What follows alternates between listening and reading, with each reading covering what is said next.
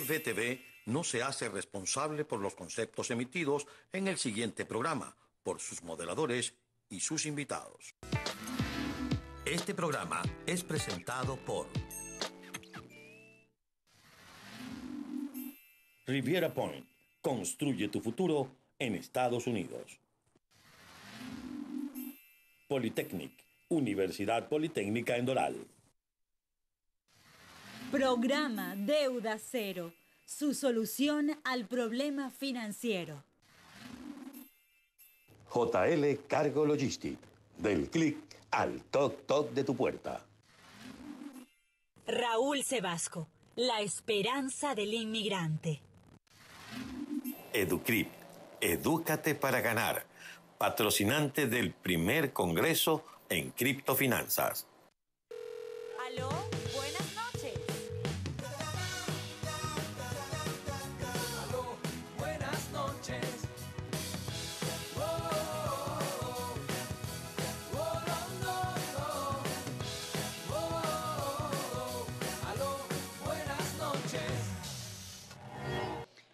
Hola mundo.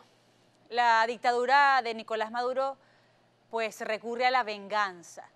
Así trata a quienes piensan distinto, a quienes se atreven con valentía a desdecir sus órdenes.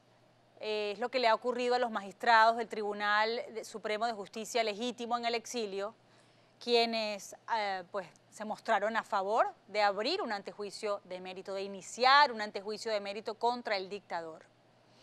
Pues, ¿cómo pagan los narcotraficantes? Se meten con la familia, se meten con los seres queridos, no directamente con los aludidos, van por lo más sensible, por lo más sagrado. Eso es lo que le ha ocurrido a los magistrados, algunos en Colombia, otros en Estados Unidos, porque han visto desde lejos cómo irrumpen en sus oficinas, cómo atropellan a sus seres queridos en sus viviendas. Y ese es el caso de Lenis eh, Rodríguez, magistrada del TSJ legítimo. La tenemos vía Skype justo para que ella nos cuente cómo se sintió. Y además el argumento, por su, como buena abogada, como buena jurista, el argumento más firme que ella tiene como para recordarles que se están equivocando, que es una decisión que en el futuro, esperamos que sea muy pronto, van a tener que pagar frente a la justicia local e internacional. Magistrada, bienvenida, buenas noches. Buenas noches, Carla, y bueno, muchísimas gracias. Yo tengo que darle gracias primeramente a Dios, a mi Virgen del Valle, a todos los venezolanos, a todos los periodistas de Venezuela y el mundo que nos están apoyando y han sido muy solidarios con los magistrados que en el día de hoy arbitrariamente allanaron nuestras viviendas es lo que tú prácticamente estás planteando. Nosotros fuimos designados y juramentados el, 29 el 21 de julio del año pasado y fuimos amenazados, como no, antes de la designación y juramentación y luego de esa designación y juramentación que hay pruebas, este, que es un hecho público notorio y comunicacional, que dos magistrados fueron eh, injustamente aprendidos y pasaron más de 45 días, como el doctor Serpa, esposado en la canilla de un lavamano de uno de los baños del SEBIN en el helicoide. Entonces yo me pregunto, eh, ¿por qué esta reacción ahorita y no la hicieron en el momento oportuno? Bueno, muy sencillo por lo que tú acabas de decir.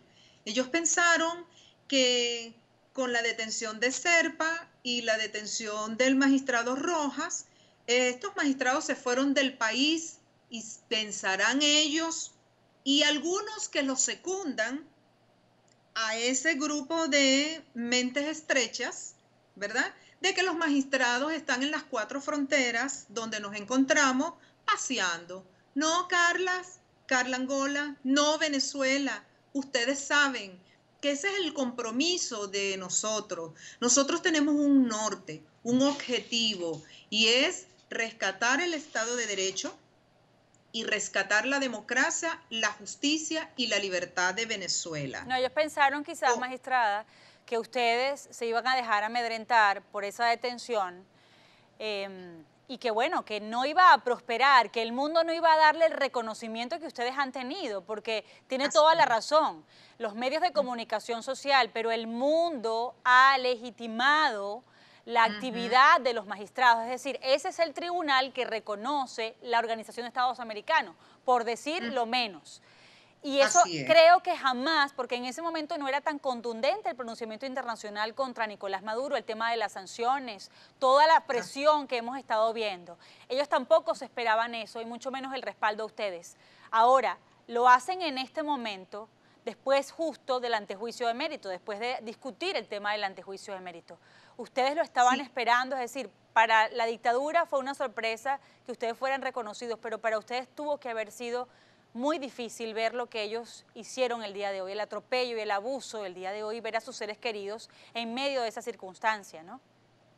Eh, yo te voy a confesar, Carla, y gracias porque yo te lo confesé más temprano.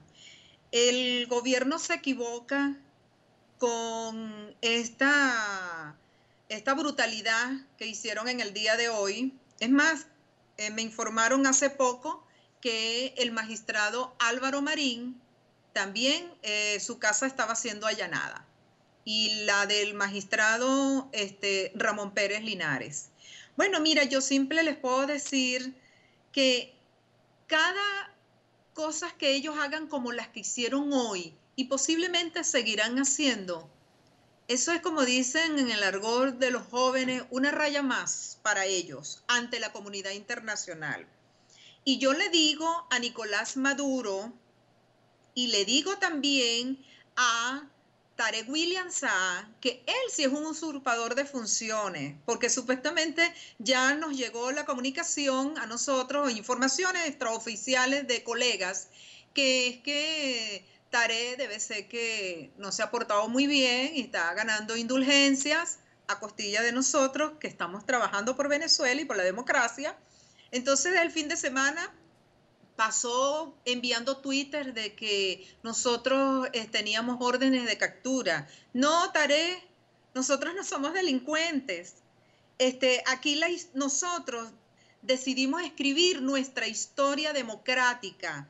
¿Y sabes por qué la estamos escribiendo? Precisamente porque somos personas dignas y, hemos demostrado nuestra dignidad, Taré, Tú que te jactas de decir que fuiste defensor de derechos humanos. Eleni Rodríguez también es magistrada hoy en día, pero hasta el 21 de julio también ocupaba esas luchas de los derechos humanos, de esas detenciones arbitrarias, de tantas torturas que sufrieron nuestros hermanos venezolanos, venezolanos, nuestros estudiantes. Se te olvida que nosotros tuvimos este, un caso donde uno de los presos políticos tomó la más triste decisión de su vida de quitarse la vida en el SEBIN, como ellos lo tildaron del aviador, el señor Rodolfo González, que era mi defendido. Cuando yo vi tantas injusticias en las presentaciones de esas detenciones arbitrarias, Carla, tú que me conoces, yo tomé la decisión